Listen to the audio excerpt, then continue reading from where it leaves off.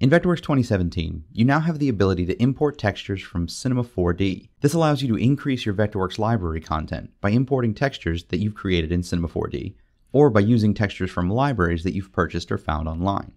All you need is a Cinema 4D file containing the textures.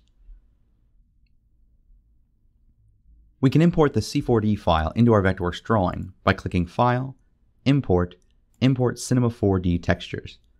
Just choose the C4D file and click Open. The textures from the file will be imported into your current document so you can access them through the Resource Manager. To help you keep your resources organized, we've created a folder in the Resource Manager that contains the imported textures. The folder will have the same name as the C4D file. Open the folder up and take a look at its contents. The textures can be modified just like a texture that was created in Vectorworks. When you edit the texture, you'll see the shader pop-ups like usual, but some or all may say imported. This means the shader was imported from Cinema 4D. Cinema 4D shaders may be quite complicated. If we look at the texture in Cinema 4D, we can see that the texture is made up of many channels.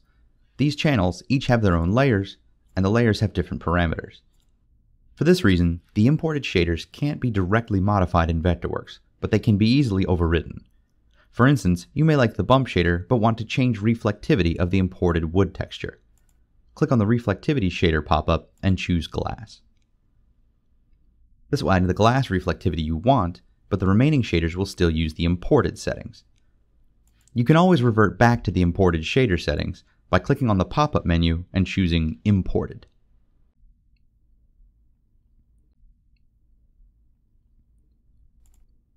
The texture will behave the same as a native Vectorworks texture. They can be scaled and mapped appropriately on the applied object.